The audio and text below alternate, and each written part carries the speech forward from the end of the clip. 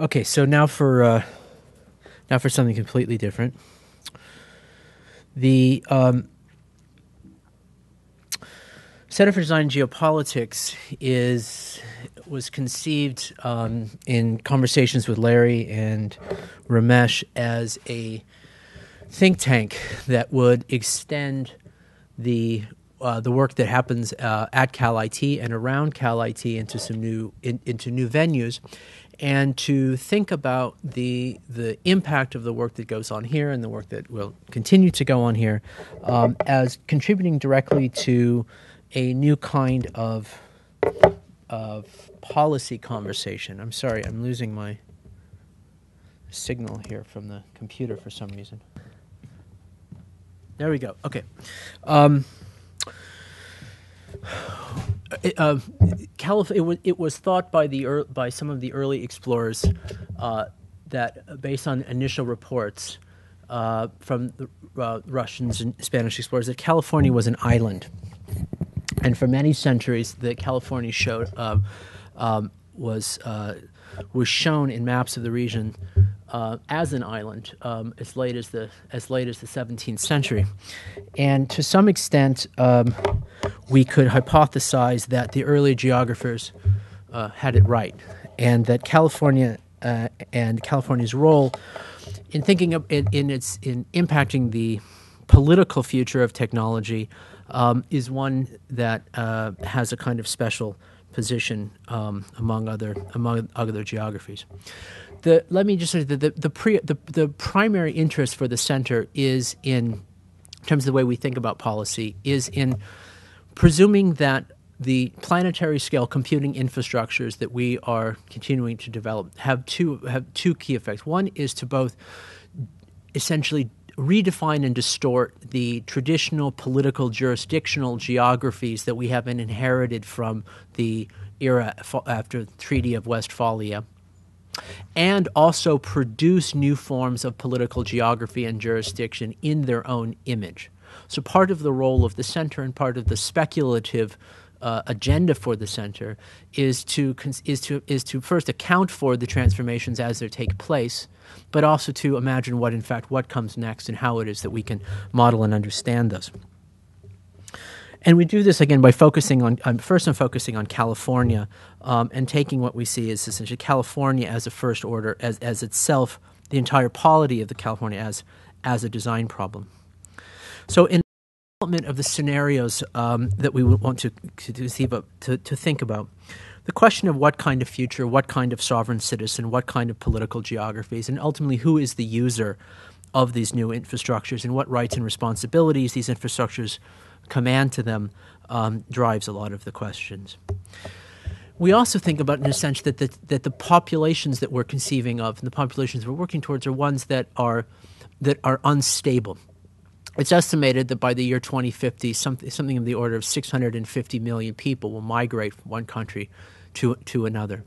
And when we think about the human species, not only now that more people live in cities and don't live in cities, but also that such a huge percentage live in a, it will be will will be migrants.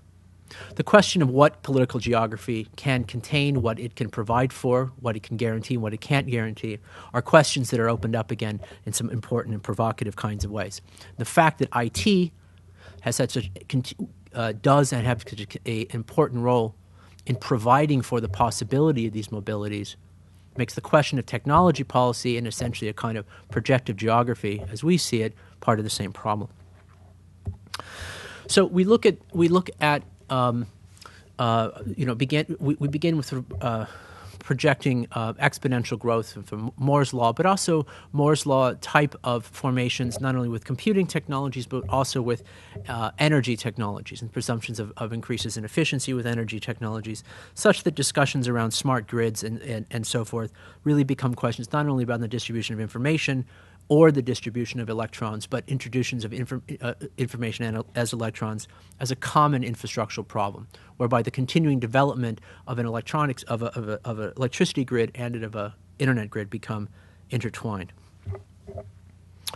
We also look at issues of eco governance, as, as I think should be clear, should be clear, and you know, we can we can hypothesize that by 2025, if we were going to try to reduce carbon parts back to 300 and 350 parts per million, that we're looking at an, a problem of trying to replace something like 15 terawatts um, of, of, energy, which is an enormous challenge to not only to as a technological challenge, but as we see it as a challenge in terms of governance. How do you govern an ecology? How do you govern the production and distribution of energy? We simply don't know. Um, you know, I was thinking we one of the, the, things that we were looking at recently was the the volcano explosion um, in Europe, um, which uh, and the way in which it shut down the mobility there as well. If this had been much more severe, the questions of sort of a ma- of mass migration, say from Iceland, would have been an, would have been a tremendous, uh, tremendously difficult political issue of how to absorb this number of people. Not one that we really have the infrastructures in place to how to deal with. That is to say that we don't know how to make the cities that we know we need how to make. So, one of the ways in which we sort of break down this problem um, is to think about the the structure this in terms of a sort of uh, the uh, uh, of, of, a kind of stack, and to think about and the, the emerging infrastructure of planetary scale computation as happening at multiple territory at multiple territorial scales. We also move, we also think about this from the presumption of the of uh, Paul Virilio's axiom, axiom that the invention of any new technology is also simultaneously the invention of a new kind of accident and that the, and that the, the, the, continuing development of this infrastructure constitutes its own form, kinds of accidents that themselves may be the more, productive uh, uh, forms. So the stack breaks down rather simply of a cloud computing or planetary computation at a global scale, ubiquitous computing of it operating at an urban and architectural scale, and augmented reality of, of pervasive of, a, of computation at a at the pervasive computation at a perceptual scale and each of these comes with again with its attendant accident.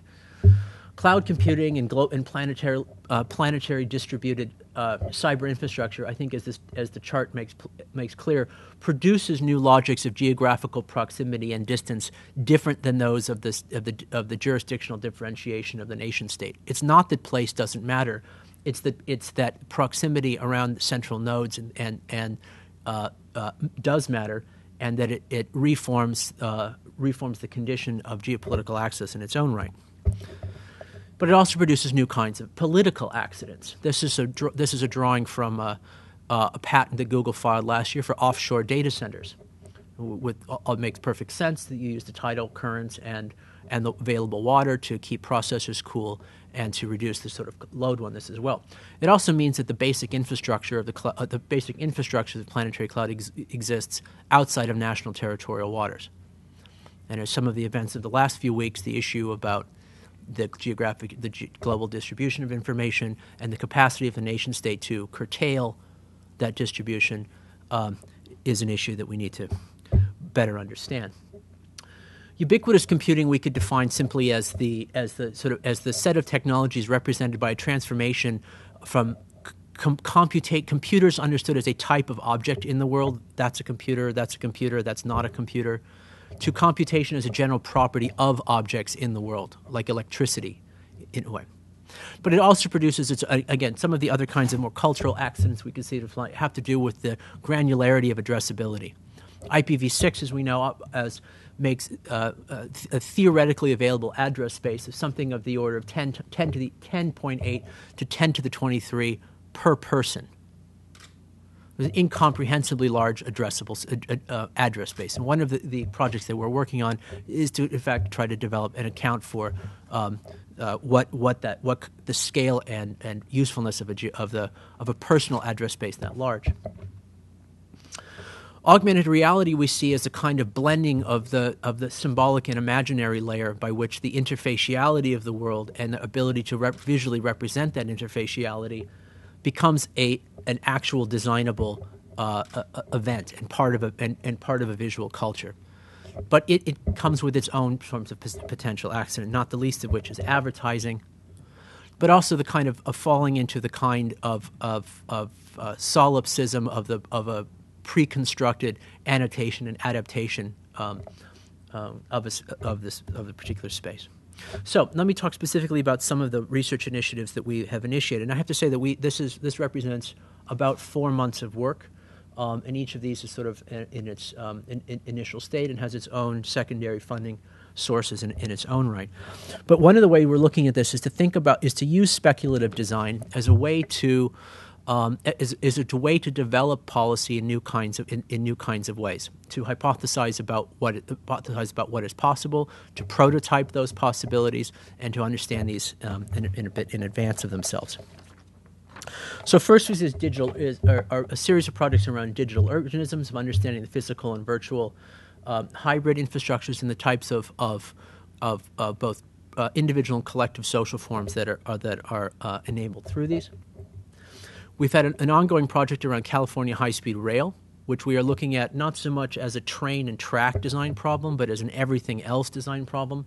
How the infrastructure will impact cities, how the how the train can be understood as a as a rolling data aggregation data aggregating supercomputer of the of the uh, and, and, a series of lo, uh, located media projects um, for this captured audience. There's a project with Intel Research Labs in Portland on the network sensing issue.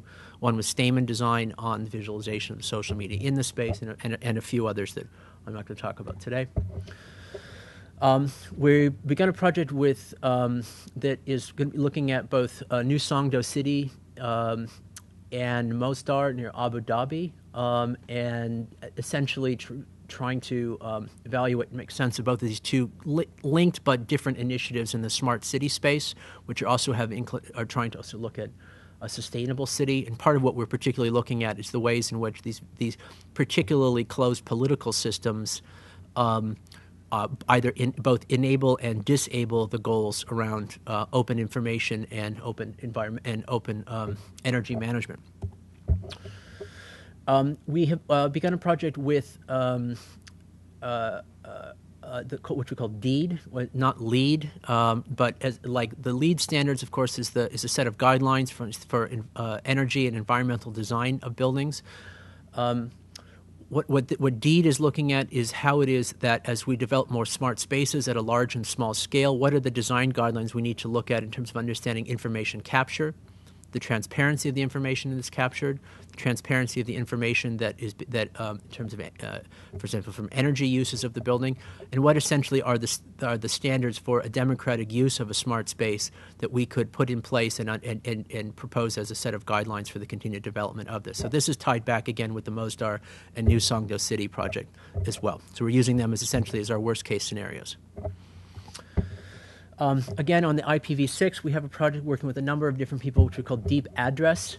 Um, and what this is looking at is with that incomprehensibly large number of 10 to the 23 IP addresses per person, we're asking the simple question of what would you do with that many addresses and how could you possibly fill that up, which brings together questions from bio, the, about, you know, uh, uh, personal bio, uh, uh, medicine, uh, ener- medicine, energy uses, transportation, object tracking, all the rest of this, and beginning to understand what what the ultimate, almost existential question of that le- that deep level of addressability uh, might might provide for.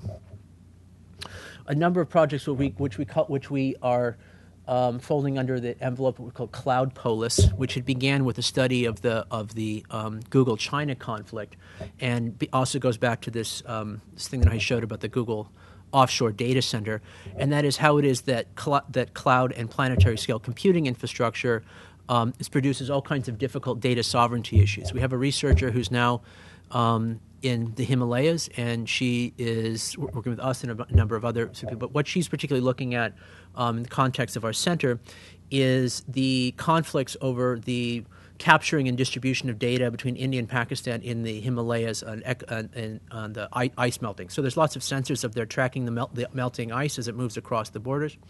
Indians don't want to share the data with the Pakistanis. Pakistanis don't want to share the data with the Indians. Neither want to share the data with the with the with the international bodies. And you're beginning to see an interesting kind of development by which geographical sovereignty is determined. Not is it's, it's less like that we control this data because we control this geography, but rather we control this geography because we control the data that's generated there. So, and these kinds of issues of a kind of data generated are obviously of enormous interest to us. And last, what we call geoscapes, which is looking at the at the ways in which multiple ge- jurisdictional claims, particularly ones that are IT enabled, are made on particular spaces. So we're looking at these kinds of data sovereignty issues, but also even theological claims on space and the rest of this as well. And this is uh, this is an exercise essentially in conceptualizing new forms of maps and geographies. Um, I spent uh, quite a bit of time in Russia last month, um, meeting with um, um other centers over there, um, Skolkovo and some other things as well, um, as with a project that was sponsored by the State Department as part of the Digital Civil Society initiative. I think we're going we're going back this summer, and I think we're going to be doing some as yet unspecified work with them to extend to extend that initiative. Um, we are a node within Cal IT, um, for which with a now uh, quite active design research consortium, where we um, are a point of connection um, for other design schools in the area, SCI-Arc, Parsons, uh, and the Art Center College of Design in Pasadena, in particular, um, uh, working using Cal IT's facilities to uh, work with similar questions. We've got several other research projects in the works. Um, this week we met with Wikipedia, um, and today did a lot of follow up with them. It looks like we're going to be working with them um, in a number of different ways. Um, the, the, the one I'll mention today is the development of an advisory board around the the internal and external governance issues um, that they're that they're that they're that they're the fifth largest website in the world, 50 employees or so. Um, with a uh, almost unfathomably informal comprehension of their own governance structures, but one that we see as potentially abstractable to a lot, a lot of other kinds of institutional contexts. Uh, later this month, we're launching our blog. We'll have um, now 10 writers who will be working for not just UCSD, but uh, um, around the world, whose research is dovetails with a lot of the things that we're looking at. Um, so that'll be a kind of um, a way to develop the discourse and distribute the research. Um, lastly, I just want to sort of say one one sort of thing about the way we think about design in this context. Um,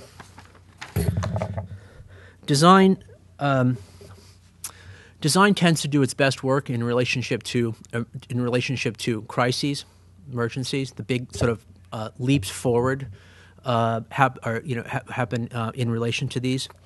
Um, our friend and colleague here at Scripps, Paul Crutzen, um, has, uh, in addition, not only his work with the with the um, the hole in the ozone layer, but he also was the, the fellow who coined the term the, the Anthropocene. And his argument, his his hypothesis is that is that we have so fundamentally transformed the planet through climate change and ocean acidification and asphaltization, urbanization, so forth and so on, that we've entered a new geologic era. The good news of the bad, the, which is probably a lot of bad news, the good news of this is that it proves that it's possible to design a planet because we've done it already. We've done it really badly, but we have redesigned a planet at once. We, we could call this the 21st century. So a lot of what we're looking at here as well is taking on the, the meta design issue of how do you design political geographies and these kinds of global jurisdictions. Um, we, we see the work that we're doing, um, hopefully trying to take it um, um, at this at this sort of level. So let me just um, sort of end with this uh, more philosophical statement, and that is that deep systemic crises invite three interrelated and apparently oppose, only apparently opposing responses: modernism, inertia, and fundamentalism. Fight, hide, and flight accordingly. Towards this, the Center Design Geopolitics recognizes the emergence of another alternative modernity, where industrialization provided heaviness, contraction, sub, uh, heaviness, expansion, production, and consumption. Our successor modernity is one of lightness, contraction, subtraction, and restoration. It is an interfacial modernity, not of identity and maximalization, but of externality and transference. Where industrialization was a modernity for tabula rasa, today a subtractive modernity curates a world that is infinitely full. Its radicality is not drawn from the historical or geographic momentum of a new world, but rooted in the precarity of globalization, the precarities of globalizations that are is as irresolvable as they are interconnected. Thanks.